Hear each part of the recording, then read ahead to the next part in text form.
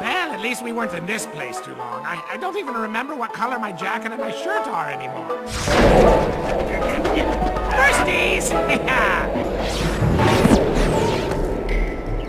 All right, my jacket is white and my shirt is black. What a relief. So what's this place about?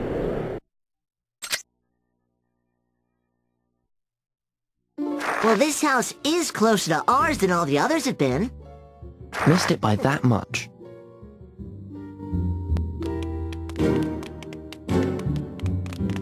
Oh no! What are you doing without your gnome clothes? They will come and get you!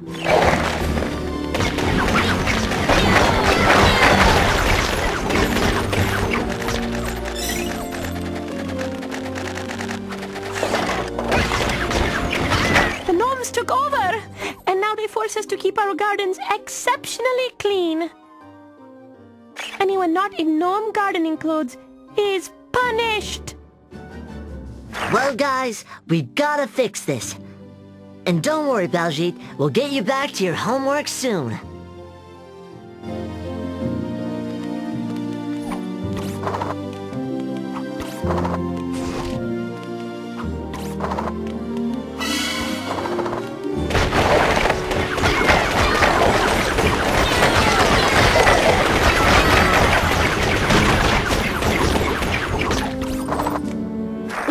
Find a way to use this line here.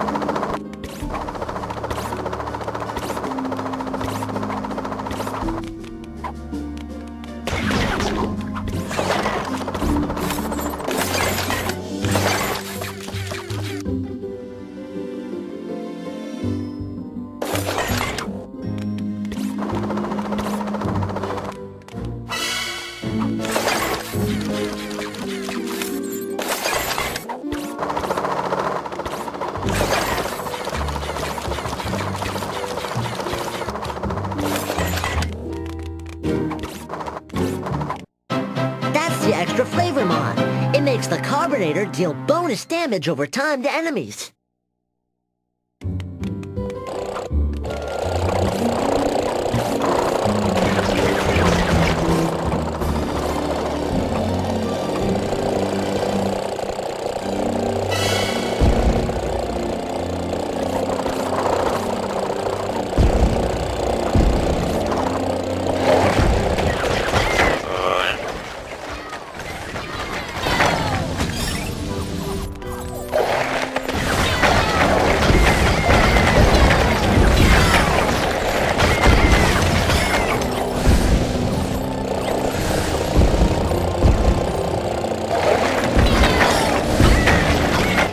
Shot, Agent P. That was one in a million.